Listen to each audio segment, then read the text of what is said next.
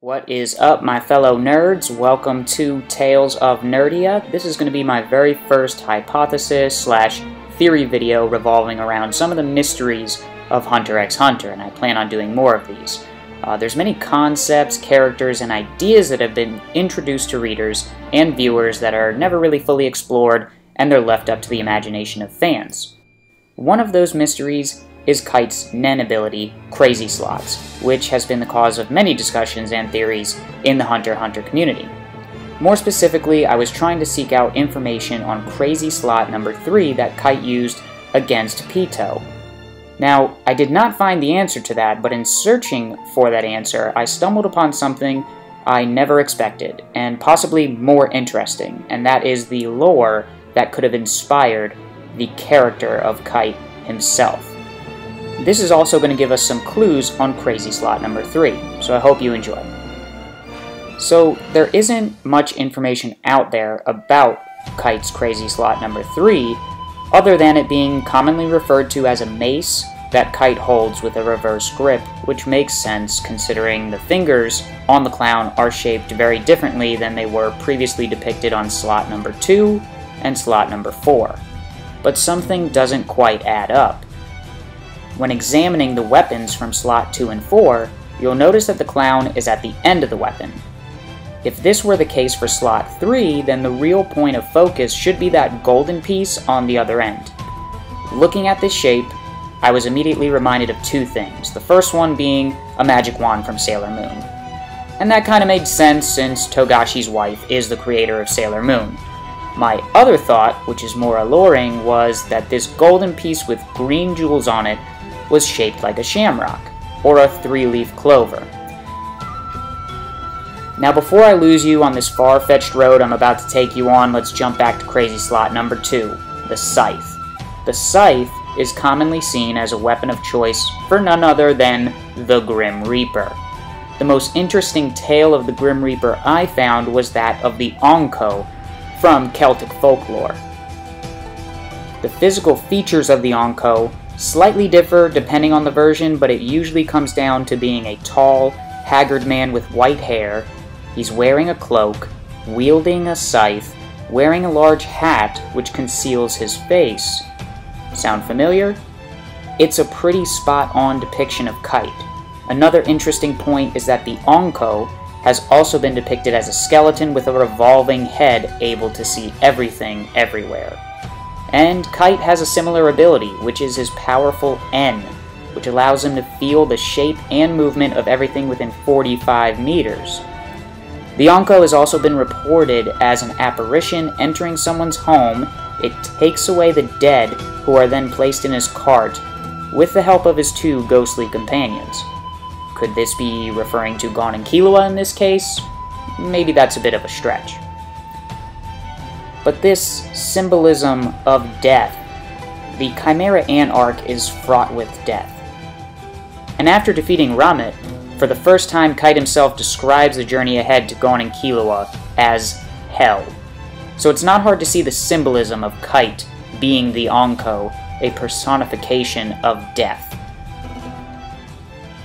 And death is not the only theme found in the Chimera Ant arc. There's also rebirth, which is caused when one is born again, as a Chimera Ant. This brings me back to Crazy Slot number 3 and the Golden Shamrock.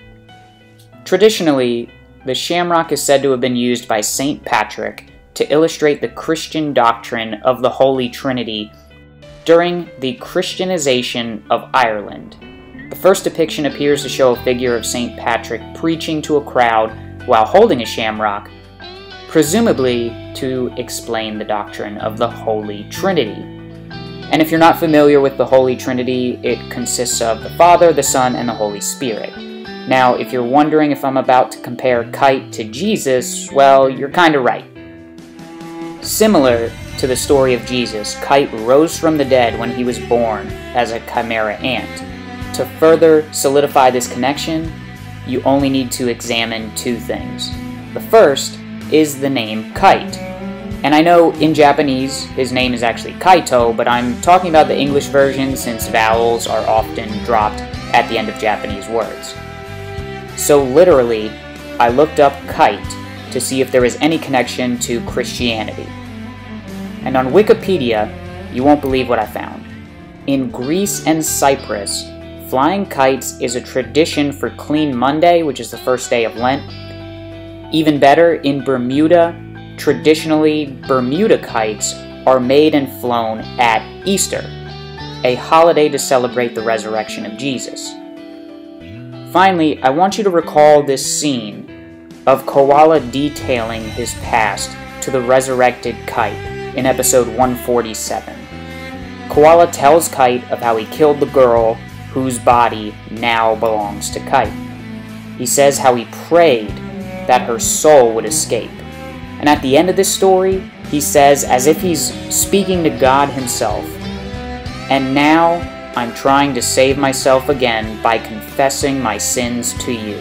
So, the language that they use in this conversation is as if Koala is at confession. So, the Catholic Church teaches the sacramental confession uh, that it requires three acts, which is contrition, disclosure of the sins, and satisfaction. Or, in other words, sorrow for the sins you've committed, disclosure of those sins, and then a penance, so doing something to make amends. So throughout Koala's confession, you see that sorrow, that regret. He admits, he confesses his sins to Kite, and at the very end, his penance is issued out by Kite as follows. 待てよ。逃げるな。お前はあたちと来い。これからずっとだ。お前が撃ったあたちのそばで。これからずっとこれしかないって生き方をするんだ。これはお前の義務だ。選択の余地なんかない。自ら死んでリセットなんて、誰が許すか。毎日あたちに、謝りながら生きろ。二度と。このままでいいのかなんて、暇でクソな考えがもたげないくらいこき使ってやる。あたちに謝りながら、あたちの言う通り働いて、あたちのために生きるんだ。もしお前が、ちょっとでも今の覚悟を忘れて堕落したら、あたちが殺してやる。